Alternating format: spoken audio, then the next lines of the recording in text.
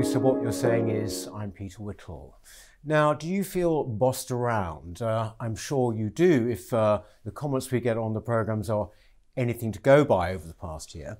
Um, if you do, then there is a great book that you must read. Uh, it's called Stop Bloody Bossing Me About. It's by Quentin Letts, uh, who is my guest today. Uh, he's also written 50 pe- People Who've Buggered Up Britain and patronising bas- bastards. So uh, this is, uh, if you like, the third in a series.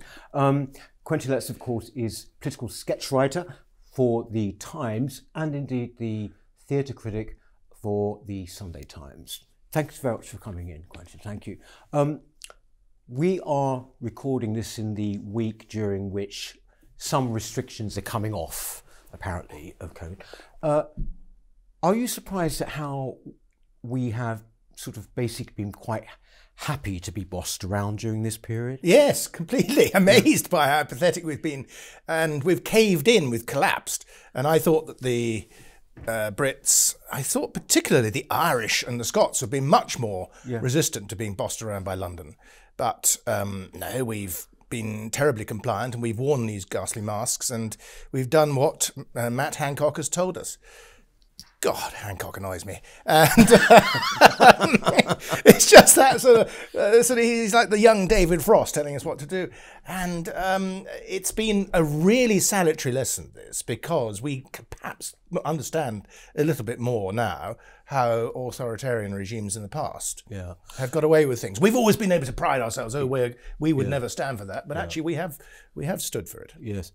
It, the the book I should add, I mean, it's, it's humorous. It's, it's written in a light-hearted way, but the themes in it are the ones we've talked about on this channel for two years. I mean, essentially, it covers COVID and it covers all the restrictions, but it also covers the woke agenda and all of these kind of Yeah. restrictions and um, privations being put on people. You've been talking about it, Peter, and no one's been paying attention. No, because I mean that's the, that's the frustrating thing. All these things are so lunatic.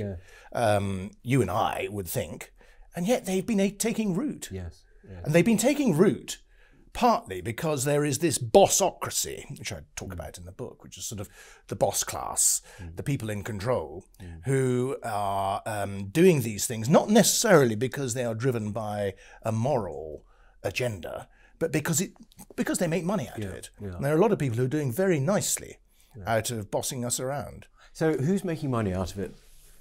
Well, if you look at the whole health and safety regime, now I am not one of those people who says health and safety per se is a dreadful thing. I can see on building sites, absolutely essential that you have health and safety. Terrible records on uh, safety at work that there were have been improved thanks to health and safety. But there is undoubtedly a class of consultants and of ninnies who are making tremendous uh, livings out of uh, running um, courses for people. I once went on a, I was doing a panorama program. I went on a ladder course, a course on teaching you how to use a ladder. No. And, uh, you know, the price of this thing was quite high. Yes. And uh, it was terribly funny. The man taking the course, showing us how to use a ladder, went up the thing and he hit his head on the ceiling. we weren't allowed to use that. The BBC wouldn't let us use the footage because it would be unfair on the man. It's pathetic. I- I- And I, I think there is this, this class of people who enjoy t- talk, uh, bossing us around, but also who are making big loot out of it. And if you look at the theatre world, for instance, and the whole uh, issue of colourblind casting, there are people making big money in the consultancies, doing consultancy work for the Arts Council, who are making much more money than the black Yeah, actors yes. they're meant to be helping. You actually had a bit of a run-in on that front, didn't Yeah, you? I With did. the Royal Shakespeare Company. Can you explain what happened there? Uh, there was a show they had um, at the RSC in Stratford where one guy was really badly miscast. He was meant to be playing a 17th century Hooray Henry in England, Yes. a chinless wonder, and he was just hopeless at doing it. He had no comic uh, panache, I thought. It needed somebody like a sort of uh, Rik Mayall figure. And uh, uh, the the thing about this guy was, I thought perhaps he'd been cast because he was black, because there is undoubtedly there is pressure on subsidised theatre companies to increase the number of minority actors. And I thought, well, hang on, that's not right. If they're casting a bloke simply because of his colour, that's actually rather racist. They should have found somebody who was good for the role, didn't matter what colour it was, uh, but who was able to do that. So I wrote, I described that in my piece, said, has he been cast simply because he was black? And I was denounced as a, pretty much as a member of the Ku Klux Klan Hmm. for saying that by the RSC. And uh, it was a pretty unpleasant experience. Oh, Uh, and since then, the RSC has admitted that, um, pretty much that they do, But do you think do with as I as I alleged, casting people on colour.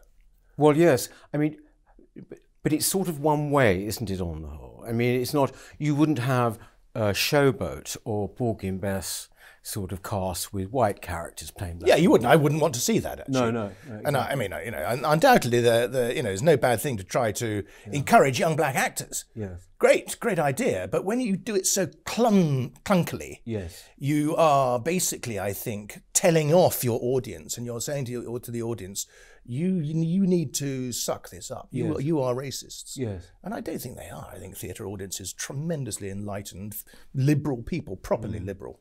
Do you think, I mean, what's your view, for example, on this casting in this Anne Boleyn series of the black actress? Well, I'll wait and see it. Uh, you know, The, the um, you know, the, the, the, the thing about artistic ca- about, about casting generally is that it sometimes works and sometimes doesn't. And there's this thing, a very loose thing called the dramatic truth. And the dramatic truth is basically does something work? and does it does it thread through and does it convince the audience? And it might well work. Yes. Um, do you think this bossiness, because when you say whether it's about casting in the theatre or whether it's about COVID and, and pandemic and, and all of that, um, you know, it's the same sort of thing. People are being told really in a way what to do and think.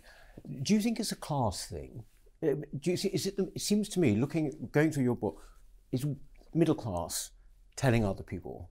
And, and that's, there's been a strong tradition of that in Britain. probably always been the way. That's probably been the way since Norman days. You can trace a lot of bossiness back to Norm to the arrival of the Normans in 1066, and you certainly then get the uh, the Domesday book, book, book 20 years later, which was the basically the uh, the introduction of um, taxation on a much wider scale and uh, taking note of people's um, uh, uh, ownings and then taxing them accordingly.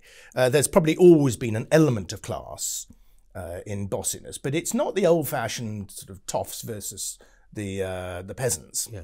No, no. The new class, the new ruling class, are very much, as you say, in the middle. They're the sort of much, tend to be much more urban, tend to be university educated, and uh, enjoy wagging their fingers at people. They get a bit of a kick out of it, and um, but it's I mean it's so me- meaningless. A lot of it. If you go to Swindon railway station, Peter, I don't suppose you ever go to Swindon railway station. haven't but been to that if you do, you alight at Swindon to change trains to get onto Nothing the wrong with line. Swindon, by the way, Flavia. And as you as you descend the staircase, um, you get this automated voice saying, "When on the staircase, please use the handrail." Now, why do they need to tell you to use a, damn handrail?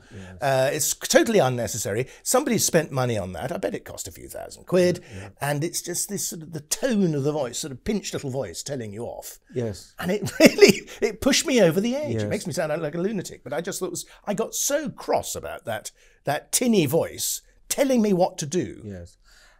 But it's also a- a- another side to that is, is all these signs we're seeing on transport now. Be kind. Have you seen these? To be kind. You know, just be kind to people. That again is just how dare I mean, how dare you suggest that I'm not kind? You know, can't I make my own mind up? Well, why do we have to be kind? What's wrong with being grumpy occasionally and telling people to, to get lost? Yes, You know that doesn't happen enough. Perhaps, perhaps we need to tell these people. Perhaps we need to be less kind to the to the bossocracy. Um, When I say middle class, I also suppose that there is a big part of this which is very Puritan, is it not? I mean, do you think that there is a kind of Puritanism around now? There is, undoubtedly. Thou shalt not drink has become the 11th commandment. And um, there was a select committee one time at which the chief medical officer, Sally Davies, who was the predecessor of, um, uh, of, of Dr. Whitty, she was being asked about the drinking laws and about the units. I bet you, I bet you drink too much, Whittle. Uh, anyway, uh, anyway, uh, she was asked about these these units, and it turned out they'd completely plucked them out of thin air. There was no scientific or medical basis really for it. There was just a suspicion that people were enjoying themselves too much, and therefore they introduced these um, these units. And then Sally Davies, just sweeping it like that, decided that um, units had to be equalised for men and women. because previously women were allowed were told to drink even less than blokes, and she did that simply on the basis of sort of egalitarian purity. Um, and that's driving quite a lot of it too. This uh, sort of shriveling, uh, determined egalitarianism that dis- dislikes difference Yes. and dislikes character. And so uh, people are told really basically not to enjoy themselves, not to laugh too much, uh, not to take the mick, and um, to conform. Thou shalt conform. Speaking of bossiness, I mean, as a, a theatre critic, you, you've just had a bit of bossiness put your way, haven't you? In the sense that Equity is now saying, this is the Actors Union is saying, that basically when you criticise or review a show or a drama, whatever, uh, that somehow you've got to bear in mind your privilege, isn't that right? Or your That's one of the things I think I didn't actually read. I read an account of this because I'm. Uh, I, I just decided to ignore anything that Equity tells me. Um, but Equity were issuing uh, rules basically to theatre critics. I think they're telling us to be more kind, uh, not to be um, uh, negative, which is rubbish, of course. If you go to a terrible show, if you go to, I mean, to write a stinker is tremendously good fun. and also, the readers love reading a really unkind theatre review. But also, if you think it is a bad show, you need to be able to say that. Isn't that freedom of speech? And uh, we were told that we had to be more kind, and you had to check our privilege, uh, whatever it is. Does that mean I don't know because because we're uh, we're white or because we're middle class ourselves? I don't know, but maybe they should check their privilege, telling us off. Anyway, but the, the basic problem with their with equity, the actors the, the actors union telling journalists what to write is that we're journalists, we're not mm. actors. Mm. We owe no loyalty mm, to actors. We owe allegiance, our allegiance to the reader. And um, so I just ignored it. But it is, it's a bit spooky, I think. It's a bit chilling if the actors union is taking it upon itself to give instructions to critics. Well, i i it's appalling. I mean, in a way, you are in a stronger position. You are theatre critic of the Sunday Times. They, you know, you, you apart from your own, uh, you know, uh, your own thoughts about what you should do and how you should uh, approach it, you have a certain power. But I would have thought that other critics, they are going to be kind of scared into submission, are they? Well, not? nobody seems to. I mean, apart from I mean, Toby Young wrote a piece uh, about it, but none of the other critics seem to have complained about it. Now, it may be that they're deciding to ignore this quite rightly, and they may think quite rightly also that equity is a busted flush. Yeah. But it is a little bit worrying. But to me, it's completely canutish behaviour by equity because you can't suppress opinion. You can try to stop certain outlets of opinion, but it'll just arise elsewhere. And now, in the days of the internet, that's particularly true. You can't control the, you know, the, the, the press in the in the way that you used to be able to. So, if um, if some critics suddenly pull their punches and become very milky, uh, then the readers will just go elsewhere. They will find another critic will pop up who is outspoken, who tells it as it is, and uh, the readers will flock there.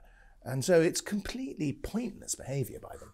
Do you think, uh, the, how do you think the theatre is going to look, well, actually, the general cultural scene, when it kind of comes back, you know, when it reopens? I, I would have thought things are going to change quite a lot. I would have thought we're going to have much more of a kind of identity politics, even more than now. Identity politics. I would have thought, yes. I, I think much less, actually. Really? I think much less because, uh, uh, first of all, I'm really worried about a lot of theatres. I think a lot of theatres are going to go out of business.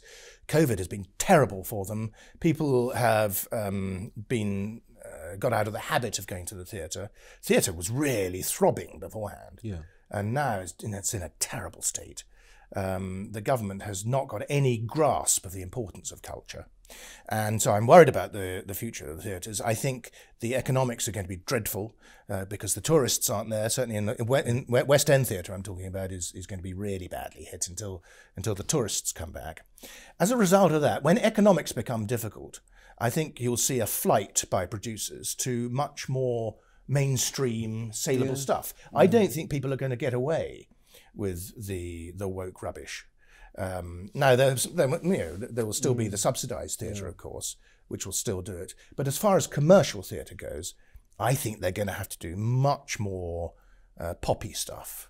And this goes for all the great out of London theatres. I mean, it, it's not just we're not just talking about the West End here. All these great theatres around the country, Theatre Royal Bath and it's in Newcastle and all these. Well, the Theatre Royal Bath is a good example. Their uh, program for this year is I'm not going to say that it's it's less intellectual than it was, but it's a bit less PC. than it has been in previous years. So I've, I, you know, I, I think that might be the way that things go. But it's hard to say that one's optimistic about it because the theatre sector is really, really hurting. Yes, and the actors are out of work and the uh, tech people out of work. It's a miserable scene. In this book, Quentin, you actually a lot of the people that you wrote about, fifty people who buggered up Britain, they kind of make a return. Do in they? This book, yes, they do. Um, but you've also included in here. Um, You're calling it a reheat. no, no, no. I'm it's highly consistent. Is what I'm point, saying. Uh, but a lot of, this- but with some new people as well, like Ferguson. You know, you, he's one of the. Oh, uh, the bonking professor, uh, Professor Lockdown, Professor Pantsdown. Yeah, well, he's a classic example, isn't he? Where he was telling us, or you know, we all had to keep our social distance, and then you know he was hopping into bed with another bloke's wife. Um, uh, nothing against that personally, but I think if you're if you're doing that at the same time as telling Yes. people to to keep a social distance, it's a bit tricky.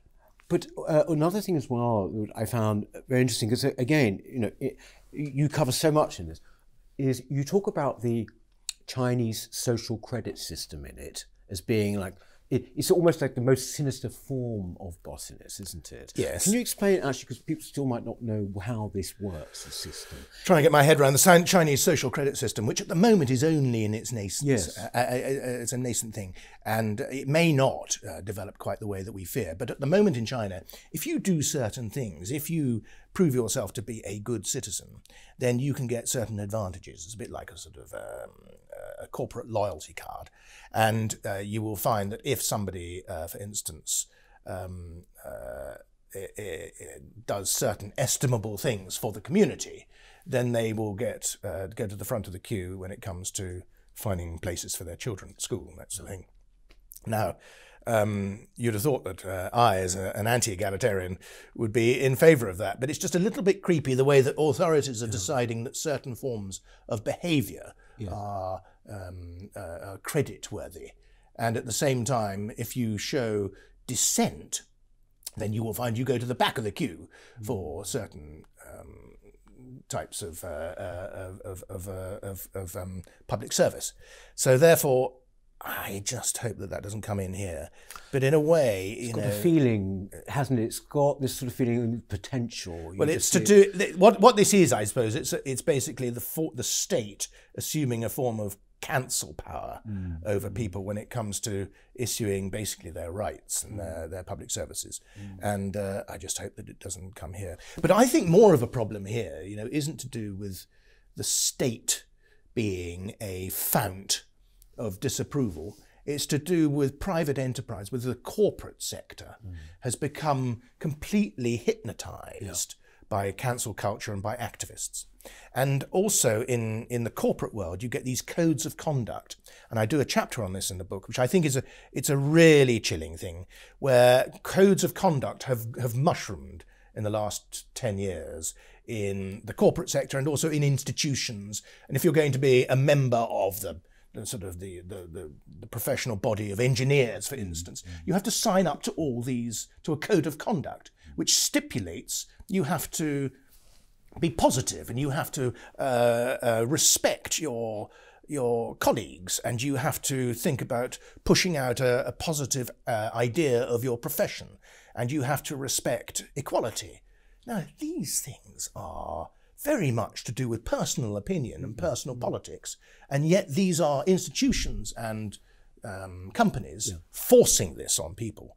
And if you don't sign up to it, then you po- you probably can't work. And that to me is a form of credit control Yes, in yeah. itself and is greatly to be resisted. I'd like to see this sort of thing pulled out much more and teased out much more by our pol- politicians and parliamentarians. But it's a form of thought control, isn't It is. It's basically well, it's a it's a form not necessarily of thought control, but certainly of action control. action control. And it's forcing people to sign up to things which they may well not believe mm, in. Mm. Now, if you run a factory in Derbyshire, say, uh, an engineering factory, why should you sign up to respecting all your your colleagues, Yes. your rivals. Surely you should be competing with them. Yeah, yes. How do we arrive at this situation, do you think, then, Quentin? Not just because of the pandemic, because a lot of the stuff that you're talking about is really nothing to do with the pandemic, like what you've just talked about with companies. How would you say we've ended up? Because even 20 years ago, this wasn't the case. Well, I think egalitarianism it's, it's sort- of uh, the the um, the nostrum of egalitarianism is basically what's driving all this. But we've also be, become terribly lazy and complacent, haven't we? And we've lost the art of flair and difference.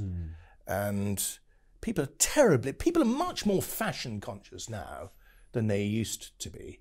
In an intellectual sense, you mean? Or? Yes, and but also I, I, don't, I don't mean in terms of clothes. No, I, I mean in terms of attitudes. Yeah, yes, yeah. and uh, but maybe social media is driving a lot of that as well.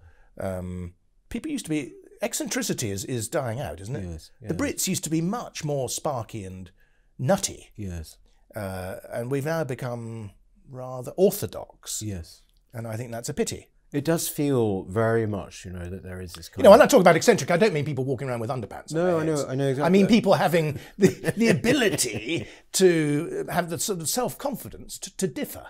Well, real free thinkers, if you like, as well. You know, people who just don't Yeah, or go being along. bloody minded. Yes, yes. Now, my old dad, my late dad, uh, he was a schoolmaster. He was tremendously eccentric, uh, and he instilled in his boys, his pupils, um, the idea that there was nothing wrong with you know being your own person. yeah. But that seems to have come away. You, nowadays, we're all being told we have to be part of the team. And I cannot bear it. I cannot bear it when Boris Johnson, of all people, tells us we have to be a member of a team and sort of, you know, doing our bit. Yes. I don't want to do yes, my bit. Yes, yes. Why should I do my bit for anyone else? It's hard enough paying your own bills, you know. Well, yes. Uh, actually, you mentioned the clapping thing in the book, the NHS. Uh, did you did you thing. clap? Um, uh, well, the first time I sort of as a gesture. You weed whittle. No, I found it kind of hard to do because it sort of felt It it just felt a bit alien no, to it me. felt I mean, communist, didn't it? It felt communist. It felt North Korean. yes, yes. Um, we didn't do it because we uh, we can't hear our neighbours, thank goodness. But uh, uh, and they can't hear us. But um, I don't know. I mean, it began that that clapping idea was quite a nice idea in, originally. Yeah. But then it got warped, didn't it? It got taken up Yeah. as a a thing that you had to do, Hmm. and there were people being reported to the police by their neighbours uh, for not doing it. And also, then somebody formed a company, and there's now a company which is making money out of it. So, uh, and the public sniffed this out and they lost enthusiasm for it. And when they were told to clap by the unions, they told they decided they weren't going to do it. So actually, the even though I've just been saying we aren't eccentric enough and we, we don't think enough for ourselves anymore, Yeah. there is still the British public still have um, en masse they can show dissent. You know, when you mentioned about eccentricity there, or just being simply different, maybe slightly uh, out of kilter, whatever it is, uh, as a sketch writer, parliamentary sketch writer, I really thought you are you're quite bereft of figures, aren't you, or like straight, interesting people. Do you remember? I mean, I remember growing up in the seventies, eighties, people like Gerald Nabarro and, and Oh, the Buggers Grips. Yeah, yes, yeah, and yeah. on all these kind of very colourful figures who didn't really amount to anything in terms of politics, really, but they they populated Parliament. I mean, Oh, I don't know. I, am not quite so gloomy about things, actually. I think the Parliament at the moment has got quite a few highly sketchable people. I mean, Hancock himself is extremely irritating, and uh, sort of um, uh, if somebody's irritating, then that makes them sketchable in a way. But Michael Gove is a, is a glorious piece of work. He's he's got lots of curlicues and uh, cornices on him that you can uh, you can describe. Uh, Boris um, is pretty good good for. I mean, Angela Rayner on the Labour side, tremendous for our business, and uh, there are actually quite a few around. So I'm not quite as gloomy about that. What what um, the uh, the really boring Parliament to sketch was the was Blair's big majority Parliament, when a lot of people had come into politics who had no idea they were ever going to make it to Parliament in that '97 landslide. A lot of real, a lot of dross washed up, and um, a little bit of that has happened this time with the big Tory majority, but not quite as much. And there, there there's still, you know, there's still some pretty good uh, figures.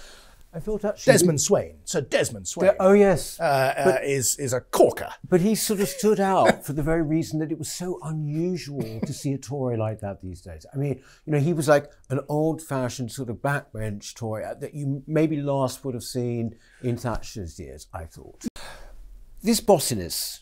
Uh, finally, uh, Quentin, when do you think what's what will stop it?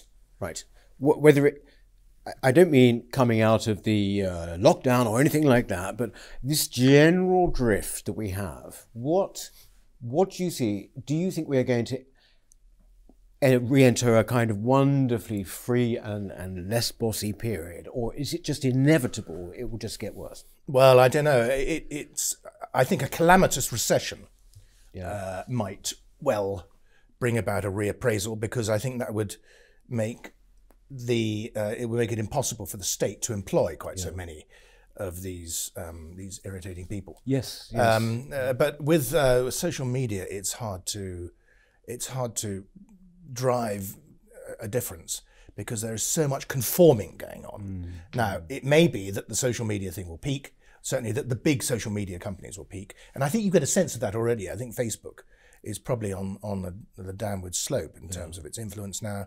Twitter is, I think. So that's that's quite promising. But what's going to change it? The human spirit eventually will change it. Um, but if we haven't got it at the moment with Boris as PM, and imagine how much worse it would be if we'd had Jeremy Hunt in charge. oh yes. Uh, so, uh, I mean, Boris has been a terrible disappointment in these respects. Yes. But um, you know, it, it could have been worse. Yes. Um, okay, well, just wanted to finally ask you one thing. Uh, uh, It sounds a bit like clickbait while we're talking on social about social media, but um, Meghan and Harry have been in the news a lot lately. Isn't this a perfect example of bossiness? You know, from a de haut en bas, as it were. You know. Yeah, yeah, yeah. No, Harry Harry has, has completely blown himself up, I'm afraid. um, and uh, I think, I mean, the the Harry story is um, is a great reason to be optimistic. And so was that, by the way, was the uh, the report of that British race report. Oh, uh, uh, and that was a great one, example of, of how the the bossocracy ha- have are losing their grip. I think.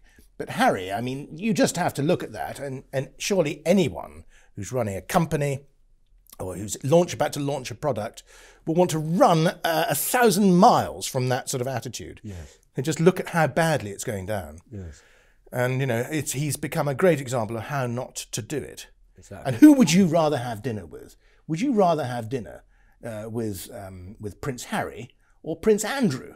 I mean, it's a terrible choice. You know, you'd, you'd rather uh, tough one there.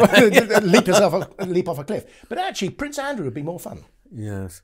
Just. I think I, I think I'll go with the Queen. Actually, that's the safe option. I think probably. But Quentin, thank you so much for coming in talking Pleasure. to us. Um, the book, by the way, again is "Stop Bloody Bossing Me About" by Quentin Letts. Available in well, when the bookshops are open now, aren't they? Of course, on Amazon. And uh, thank you very much indeed. And maybe see you in a few months' time if you come back. It'd be great. Thank you very much.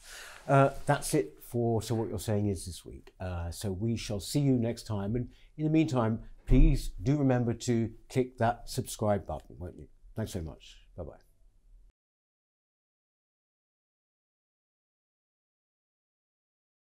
bye.